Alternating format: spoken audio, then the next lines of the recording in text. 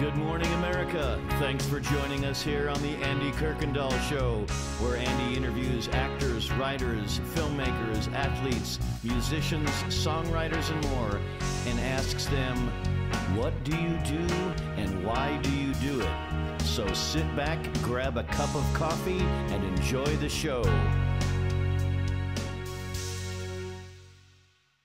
Good morning. Welcome to Morning Moments. Today's guest is a author, speaker, and coach. It's my privilege to bring uh, Brenda Cox Harkins to Morning Moments. Welcome, Brenda. Hey, good to be here, Andy. Uh, thank you for joining me today. And so let me ask you the question I ask everybody What do you do and why do you do it? What do I do? First of all, okay, well, author, speaker, coach, that says a little bit, but how I do all of that, what the purpose for all of that. I like to help people discover three things. I really like to help people discover their their purpose, power, and potential, but also that of other people.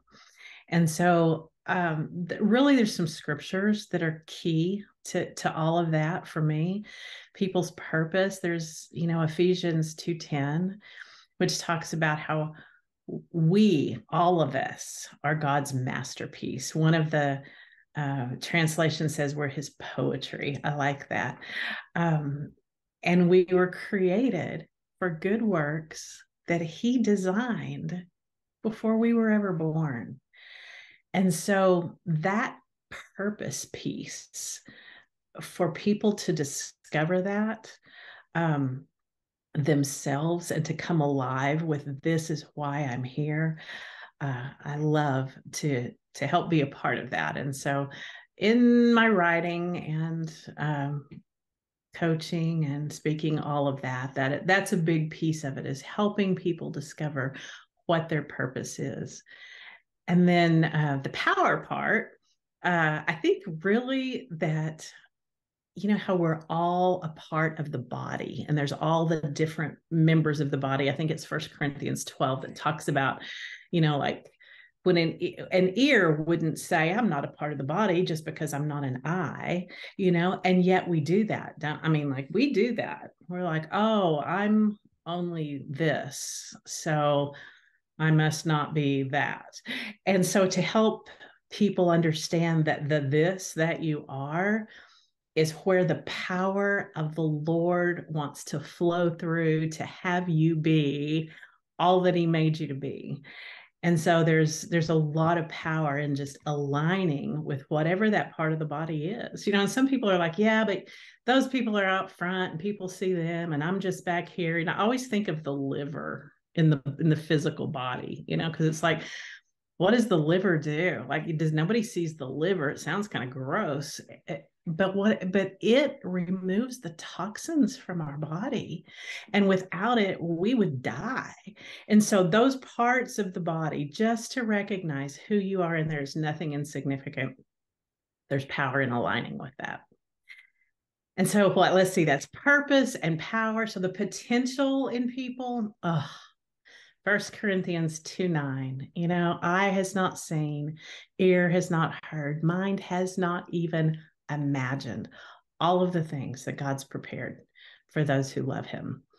And so, um, truly, the potential that He has for us to reach all the places that He intends for us to reach, it's beyond our imagination. You think of, like, I can see a lot of things and I can hear a lot of things and I can think a lot of things, but to think that it's even far beyond that that God has for us it just lights me up to be able to help people um, discover those things.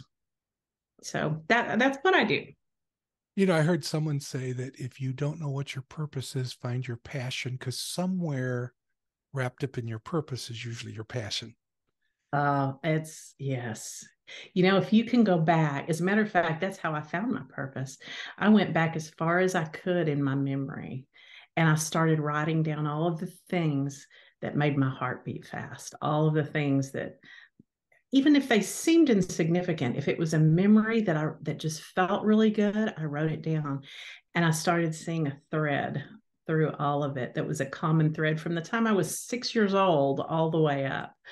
So yes, your passion helps you lead your find your purpose. You talk. You're talking about the bo- our the body, and uh, you, when you said liver, the, the nurse in me kicked in uh, with the anatomy and physiology of of the liver. That's where the nutrients are stored. That's where mm. the vitamins are stored, and that's taken out. And so when people think I'm in, I'm just a big blob of of liver. That could be your purpose is to store those good things to to to give to the body of Christ when needed, the glucagons and the vitamins and the enzymes when needed. I had somebody say one time, I'm just the big toe of the body of Christ. But without the big toe, we have no balance. There is no balance. That's so, uh, right. So I says, yes, everybody's got a purpose, a plan, a future, and a hope. And until we find that, it's hard to get the power and the potential from us until we find our purpose. Yeah. Yes, I agree. I agree. How, how do you go about bringing that out of people? Oh, different ways. Uh, it's through the coaching and it's it's even through the speaking sometimes in big groups that we'll go through exercises that help that but i tell you what i use what the lord used for me more than anything i have people go back as far as they can in their memory and just think about can I give you an example real quick? So when okay, so when I was a little girl, I used to play that is my favorite thing to play. I was a princess and I sat on this throne and these big doors would fly open and people from the village would pour in and they would come and they would tell me all of the injustices that were happening. And I would send out the knights to go get the bad guys and throw them in the dungeon. Like, you know, that was that was what I I mean, I loved playing that. It wasn't like, oh, I'm the princess, I'm married to the prince, I have all these pretty dresses, I live in a palace. Although that might have been, that wasn't what lit me up. What lit me up was to right the wrongs and to um, uh, yeah to, to bring justice. And so that has been seeing that even as a little kid uh, i saw themes of that all through my life. So i that's one of the ways that people can begin to do that. Look back as far as you can. What did you love? What did you love when you were a kid and why did you love it? You know when you said that i was going back and, and to, to my life and at an early age i discovered that i could make people laugh and uh, the things that sent me to the principal's office uh, as in school later became what I used to pr- present the gospel and to bring people to to understand because my humor. And uh it's because it, that was my passion. It's always been my passion to to help make people laugh and however i can.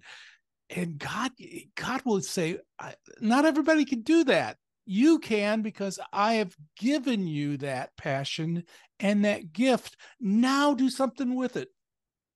Yes. Yes. Absolutely.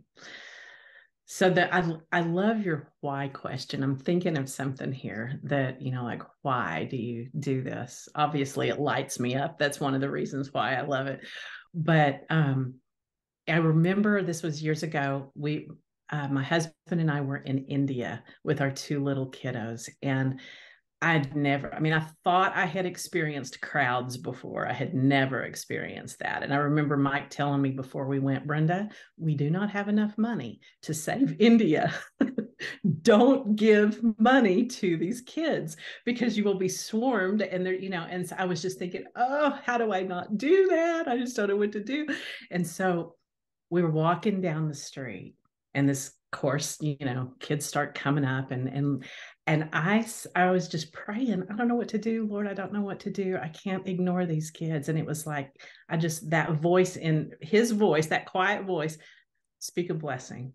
And i started looking at each of those kids just right in the eye and just saying whatever came to me. You are so beautiful you have a purpose. You haven't even begun to see how big it is yet.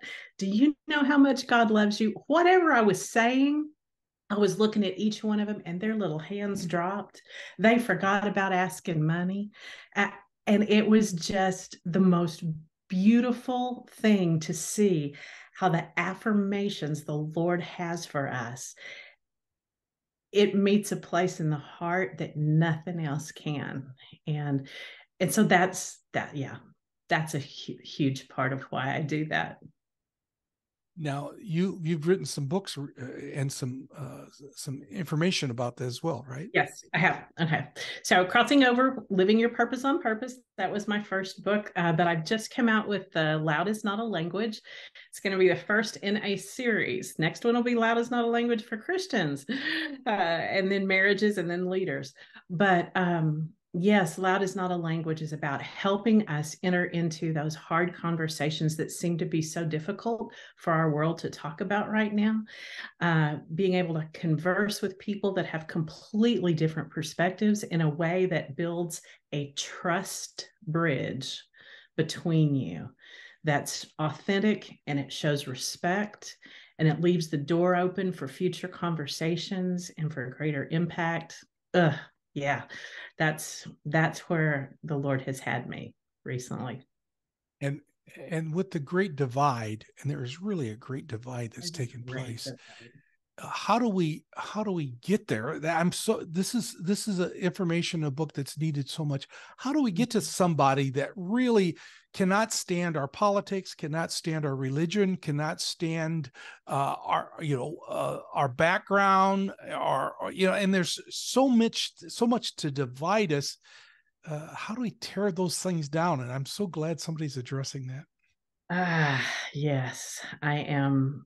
Uh, I'm hoping that it has widespread influence because I believe in it so much. I I know that a huge part of it is to have our heart stance right before we enter into those conversations and i i use the analogy of a chair like pull up a chair like you invite somebody into a conversation you know we want to we want to have the courage the humility authenticity integrity and respect in place in our heart for that person in front of us before we ever enter into the conversation. And then when we do, what we do is a little bit counterintuitive because we want people to hear what we have to say. But what we do instead is we listen. Yeah. We ask them, tell me more about why you believe like you do. Where did that come from? How did, how did you get those convictions? And we listen, genuinely caring how they got there and it starts to build a bridge of trust that leads to who knows where. Good that, places uh, share god's love and if necessary use words.